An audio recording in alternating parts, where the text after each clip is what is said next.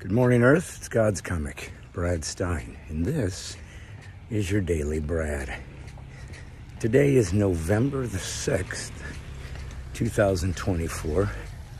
I don't normally give the dates because, as I said yesterday, I try to just keep these little devotions evergreen. So if somebody stumbles upon this 20 years from now and I'm long dead, uh, they can still hopefully get some inspiration out of it. But I needed to document this day for a reason. Yesterday was election day for the United States of America 2024, and it was between Kamala Harris and Donald Trump. And I talked about the idea that we don't know the future. We never know. We don't know what's going to happen.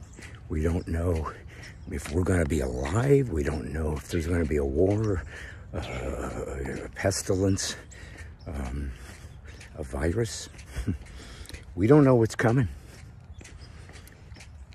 And it becomes very anxious for us.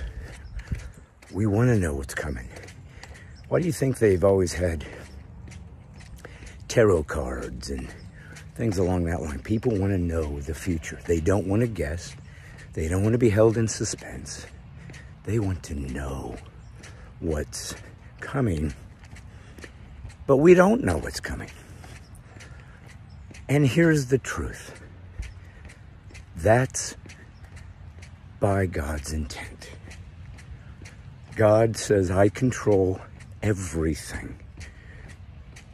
Enemy is the God of this world. We forfeited our place here a long time ago. But even in Job, Satan had to come to God first and say, Can I beat up on your friend here. God still is sovereign.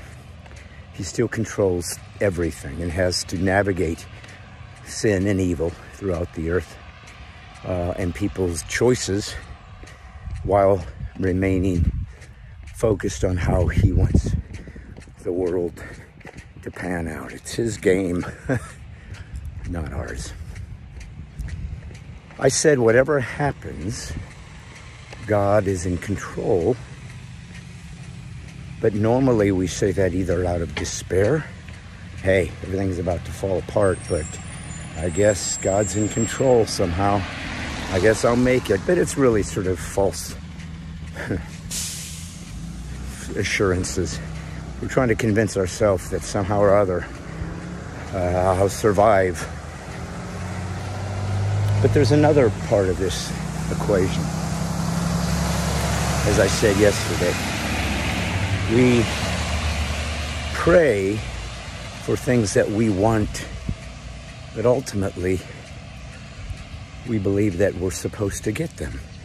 That that's what prayer is for, to achieve that thing which we desire. And oftentimes, it is to take the burden off of us. I'm sick, make me well. I'm scared, give me courage. I'm confused, give me clarity. I'm weak, give me strength. We always want, really, in our prayers, to be given comfort, to be made comfortable again. And if you are trying to serve God Almighty in this fallen earth as a sinner,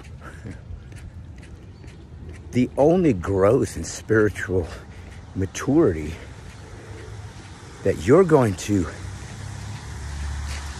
uh, inculcate into your character and your behavior to become like this Christ like figure that God has called us to be and that you say you want to be, the only way you're going to get there is through pain. Weight is what builds your muscles, not lightness. Running is what gives you stamina, not a hammock. And so I I dreaded a Kamala Harris win because she's a Marxist. And I could not imagine that the United States of America voted a Marxist to rule our nation. It would have been a demonic disaster. But I also realized perhaps we deserve it the applauding of abortion by the Democrat Party, the mutilation of children's genitals,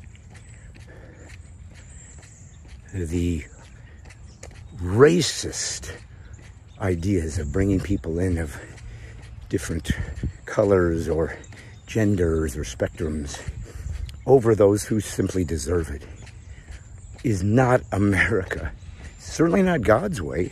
God made it very clear he's a meritocratist. Meritocratist, if that's the right word. He gives each one of us certain gifts and then it demands us to go out and double them. You got five, give me 10. You got three, give me six. You got one, give me two.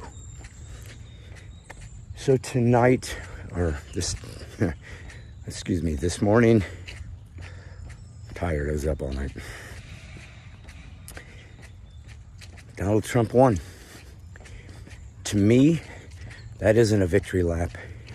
That isn't something that we should be screaming about and excited about, and certainly not lording it over those who voted Democrat.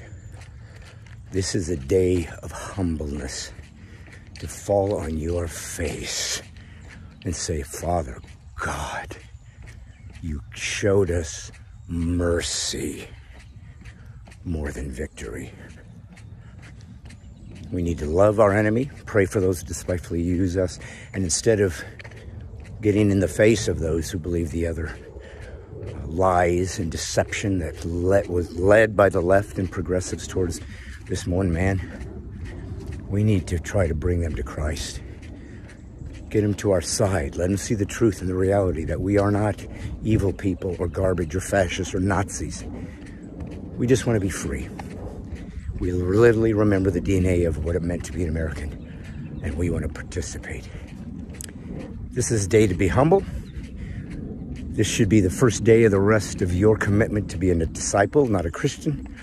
To humble yourself, pray daily, read the word, fast. I fasted yesterday. Thought that's the least I could do for my nation's voting day. And simply